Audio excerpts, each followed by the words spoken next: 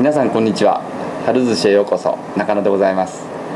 今日は、えー、藤野秀人と語る3回目でございます。3回目です、よろしくお願いします。よろしくお願いします。えー装飾投資体の話で先ほど、えー前回終わりましたけどもちょっとその続きでいきたいと思うんですが、はなんかね今ちょっとツイッターにね急にこう入ったんですよ。母消えちゃった。はい。えー装飾体ですからかっぱ巻きたくあん巻きかんぴょう巻き縛りですか？これレニーさんからの質問なんですけどどうなんでしょう藤野さん。いやいや今あの梅しそ巻きですけどあ梅しそ巻きですね。今梅しそ巻きですけどでも。僕はあのご名答でかっぱ巻きでございますが。でもねさっきエビ食べちゃったし。ねあのトロも食ってましたね。全然装飾体じゃないような気もしますけど。いやいやいや今日はあの寿司食体できてますからね。あ寿司食体ですね、何食ってもいいんですよね、はい投資は装飾ですけどね、うん、食べるものは雑食で。この通りですね。ですね。梅しそ言ってくださいあはいはい。ぜひぜひ。はい行きます。さてですねあの我々の大切にしている装飾投資。うん。この、まあ、考え方の中ですごくそのコアになる部分がいくつかあると思うんですけどまず一つはやっぱり積み立てだと思うんですね。そうですで積み立て投資っていうのはその長期投資をやる中ですっごく有効だし、ね。楽だしそのなんか結果的に合理的にもそうですね。あのいい結果につながるしってね。ね。これちょっとぜひ藤野さんの言葉で皆さんにお伝えいただけますか？そうですね。積み立てと 積み立て投資は素晴らしいと思うのはもうとにかく決まったお金だけで投資できるんですね。月々3000円とか5000円とか1万円とか2万円とか無理なくできるということとまあそれからあともちろんマーケット上がったり下がったりするわけですけれどもそれをこうああの上がってる時には少なく下がってる時にはたくさんの口数で買えるということですから非常にこう合理的なんですよね。で何よりもすごく僕らのメッセージとすると今まで資産運用というとお金持った人のどっちかというとギャンブル的な感じのねイメージだったんですね。私お金ないからって、ね、そうそう言われますもんね。でも本当は資産運用が必要な人ってお金がない人の方が必要なんですよ、でもお金がない人って誰にも相手にされなかったんですね今までね。だってお金ないから、あのこう手数料も取れないし商売にならないね。商売にならないと。でも僕らはあのお金のないあなたこそ。視聴者の中でお金持ってる方いっぱいいると思うんですけれども。でそういう方も僕ら大事なお客さんですが、でもお金持ってないからできないわけじゃなくてむしろお金持ってないからこそ将来のために必要じゃないかな。と、でできる範囲の中でやってくださいと、はい。でそれが結果的にすごく福利で大きな成果になるんですよ、ということなんですね。だからそれはお客様志向で考えたら何が一番いいのかっていうと結局月々少ない金額でできると、それからもう一つ大事なことは、後でまた多分ご質問にも出ると思うんですけれども、直販ならではですけど、はい。手数料が安いと、はい。コストが安いと、はい。これもお客さんのあのお財布に優しいことだとそうですよね。そう思うんですよね。あのお金がないからできませんってよく僕らも最初言われますけどそうですね。結局お金がなくっても、うん。まあ、全然なせないと困っちゃうんですけど、まああのセゾンの場合は5000円からで渋沢さんのコモンズは3000円からでで。ひふみは今は1万円ですけどいつ下げるんですか？いやもうなるべく早く下げます。今一生懸命その作業してばっかりで。すみません。もうすぐひふみを下げますからね。そしたらはい。本当に誰でも投資できるようになりますから、そうするとポケットからこう出てきた、ね、ちょっとのお金を毎月毎月あのねまあ、気持ちよく入れていけばいいっていうね。ね。これが積み立て投資の魅力なんですよね。ですね。でもう一つその積み立てと同時に僕らが今ねあの藤野さんまさにおっしゃいましたけど直販って直いうね。ね。はい。この直販へのこだわりっていうのをちょっとぜひ熱いメッセージを伝えてください。そうなんですよ。直販っていうとあの直販投資の略なんですね。直接にお客様に販売するから直販投資なんですけれども、私には夢があってですね、あの携帯電話という言葉が今携帯で携帯電話のことを言われるように、いずれ直販というふうに言っただけでもうそれは投資のことを表すんだというぐらいの言葉にしたいなと思ってるんですね。ではなんで直販がいいのかってことですけれどもこうやってダイレクトにコミュニケーションができるということと同時にもう一つは大事とっても大事なことなんですけどコストが安いんですよ、うん。お客様にとって、うん。それはあの手数料がまあない。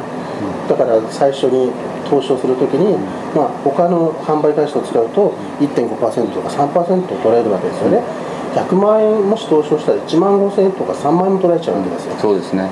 で僕らに投資したらそれ全くかからない、うん。100万円があったらまず100万円が全部僕らのところに来てでかつ口座管理料もまた0円だし0円。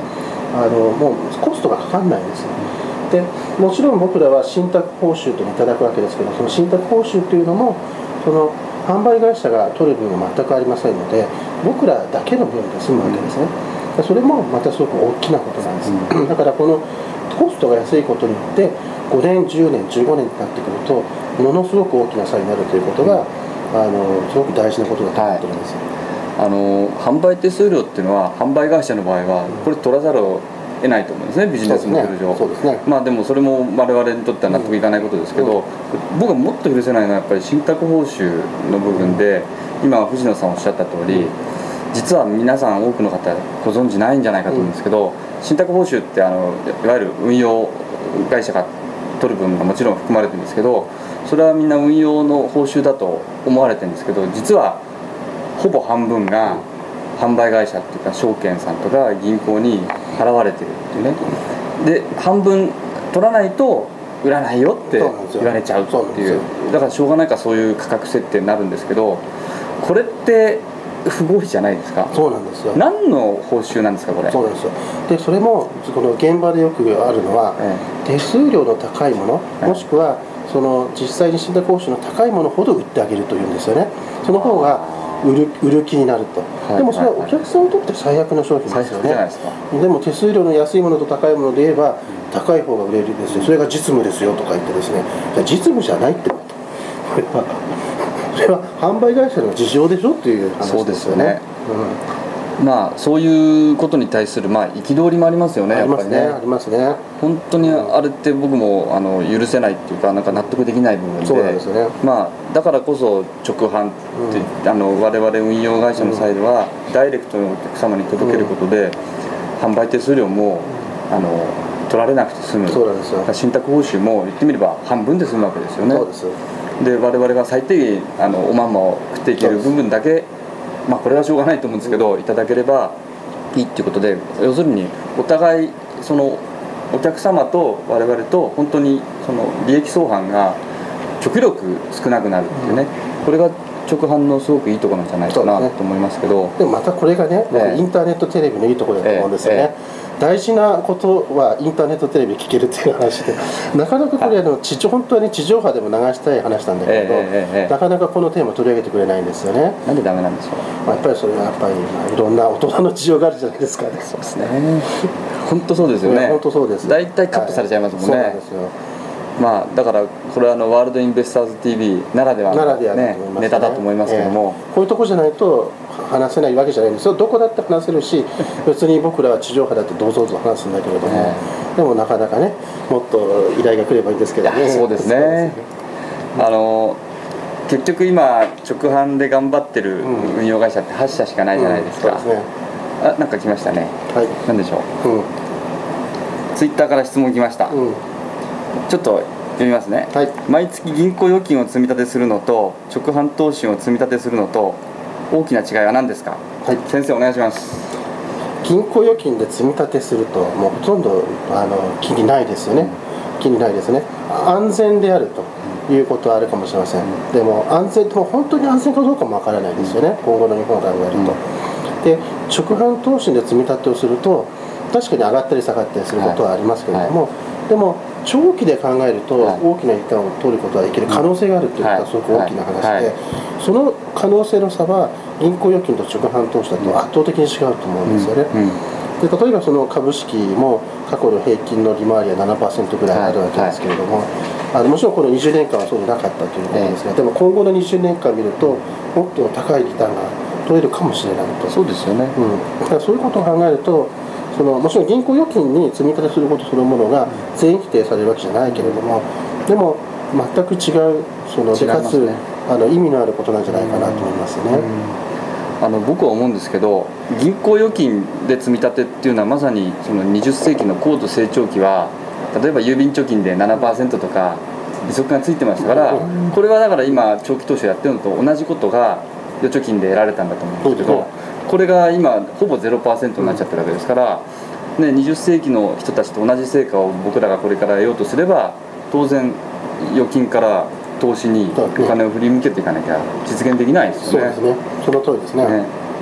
だから投資っていうのは今藤野さんおっしゃった通り上がったり下がったり、あのそう繰り返すんですけどでもこれにのその積み立てで安い時もどんどんどんどん買い下がっていくとそれがすごいいい仕込みになるじゃないですか。そうなんですよね。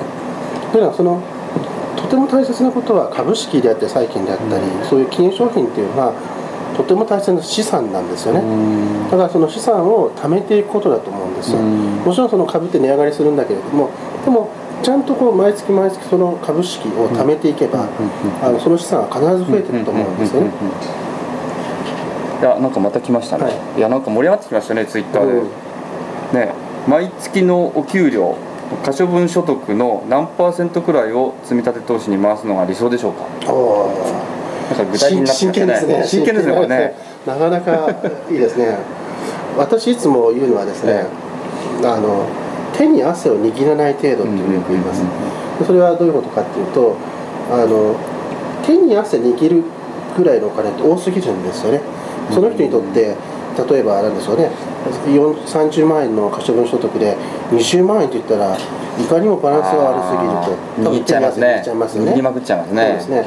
でももし30万円のうち3万円だったら10%だったらどうかっていうとまあ27万円ありますしまあ後でもちろんその3万円を減額することもできるから、まあ、スタートとしてはできるかもしれないねと。ひょっとしたらその3万円の中でもじゃあそのじゃあ一部をこのセゾンさん、はい。一部ははい。はい一部は、はいあのコモンコモンさん。一番下げるとかなんか超ガデインスが出てきましたけど装飾投資対英語ようこそみたいなようこそですよね。まあでもまあそれはあの半分本気で半分冗談なんですけども。でも本当に手に汗を握らない程度というのが一番大きなことじゃないかなと。やっぱり最初から大きな金額ではなくて小さくゆっくり始めるということが大切だと思いますね。僕らはもちろんその商売ということを考えればできるだけ多くやりなさいみたいなことだと思うんですけど。今ずく全部よこせって坂本さんみたいな人いますけどね。C ですね。C ですね。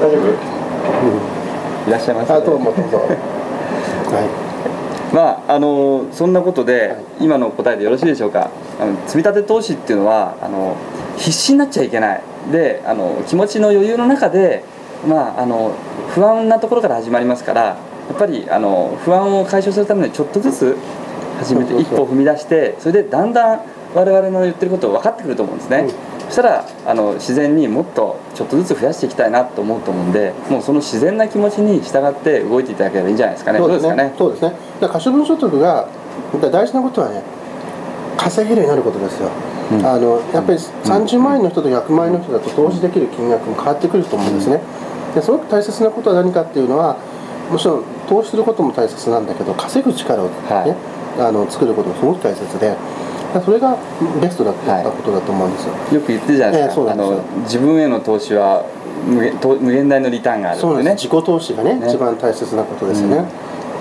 まあそういうことで皆さん大体お分かりいただけたでしょうか？